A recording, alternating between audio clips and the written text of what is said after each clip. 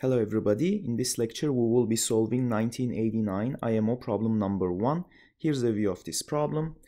Uh, we're given a set of the first 1989 positive integers and we would like to express them as the disjoint union of 117 sets, each with 17 elements and each set having a, um, a constant sum. Well, in this case, it's quite easy to find that sum. So first of all, let me uh, check uh, to confirm that uh, 17 times 117 is sure enough 1989, so that works. And then uh, the sum of all the elements in all the sets is equal to 189 times 1989 times 1990 over 2. And um, and as a result if I divide this number by the number of sets subsets which is 117 um, so these two will cancel. I will have a 17 here. These two will cancel. I will have a 995 so as a result that would tell me the sum of uh, elements in each set should be uh, 16,915 the way uh, the question is um, right now, um, it's very complicated because there are too many numbers around. So I will simplify this thing. So let's try to figure a way to handle all this with, um, let's say we have uh, five subsets only, A1 union, A2 union, uh, um, A5. And let's assume that, well, let's assume this is, um, the whole thing is A the whole set. Okay, and let's start with a small a. Let's assume that a has only um, only say 10 elements in it, 10.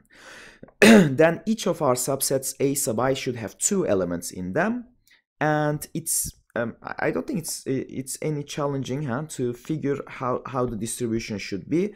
Uh, so if you have the um, the five sets, in fact, let me create this table here.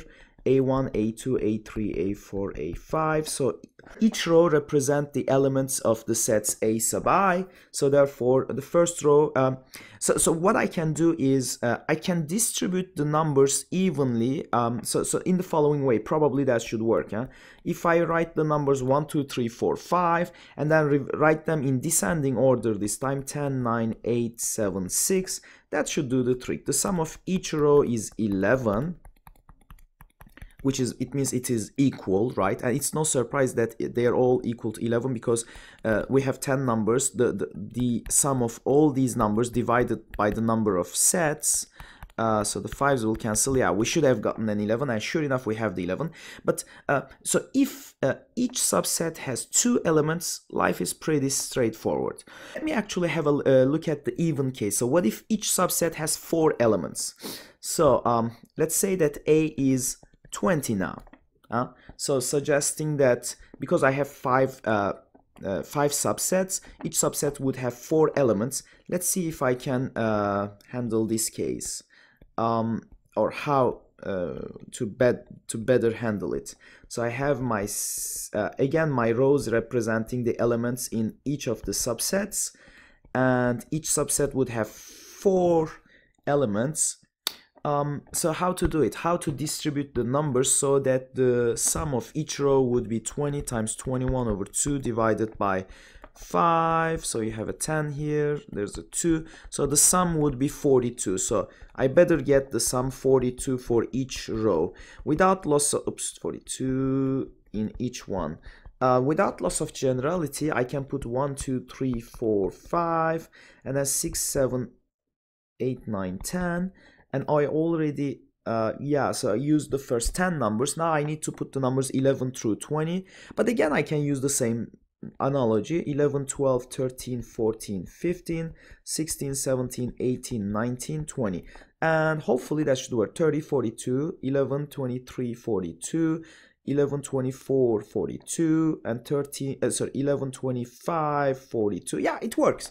So actually now i have a very very good understanding of how to write the numbers right? So if each a sub i uh, a1 a2 a3 a4 a5 have an even element of numbers uh, 1 2 3 4 5 6 7 8 whatever um, so in that case all that I do is I start writing my numbers 4 5 6 7 8 9 10 that should that distribution works beautifully right? So everyone agrees uh, that the um, sum will work out really nicely and so on.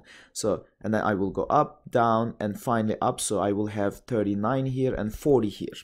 So that should work out beautifully. So no doubt about that so now what happens if each AI has an odd number of elements so which is uh, the case in our problem here now, what if each subset has an odd number of elements? So, meaning, what if, for instance, my set is the following set 1, 2.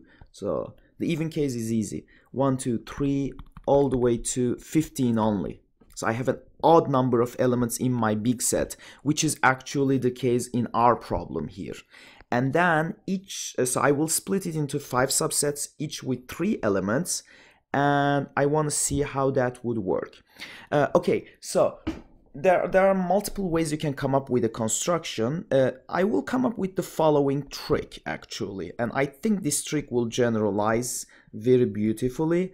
Um, so the trick is the following. So this is kind of like a two-step construction, if you will. Um, so I, I, I put two tables side by side, and okay okay each subset would have three elements and the sum of the elements would be huh because the the, the maximum is 15 the sum of all the numbers in the set a is 15 times 16 over 2 and dividing it by number of subsets that I want to split into. So these two will cancel out. I will have a 3 remaining here. Um 8 here so 3 times 8 is 24 so therefore each row should add up to 24 I have the following idea. So what I would do is I will write the numbers um, consider the following construction and then I will uh, write the full general uh, generalization next. Um, so suppose that I, I put my numbers in the following fashion 2 1 and then uh, 2 1 5 4 3 and finally 24135. So what I did is I replicated the numbers 1 through 5 uh, three times in three row, in three columns. And then what I will do is I will shift each element here on the second column by adding 5 and then I will shift each element on the third column by adding 10. So first of all notice that before I do this shifting business the sum of each um, row is equal. So after I add 5 to every column so every row is added 5 more the sum will not change it will now instead be 14 right it will rise to 14 and then when I add uh, 10 more it will further rise to 24 which which is what I needed, right? So the sum of each row should be 24. And furthermore, I claim I will use each number only once. So the first column, I do nothing. 2, 4, 1, 3, 5. The second column, I add 5, so it is 7, 6, uh, 10, 9, and 8. And the third column, I would get uh, 15, 14, 13, 12, and 11. So I claim this construction works which is obvious.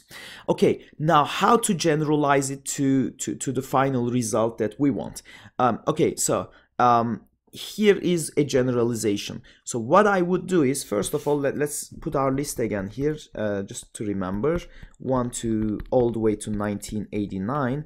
And then I would like to split A into um, 117 parts where each part where uh, each AI uh, has 17 elements in it and also uh, the sum of the elements in any given partition is is equal uh, between each row.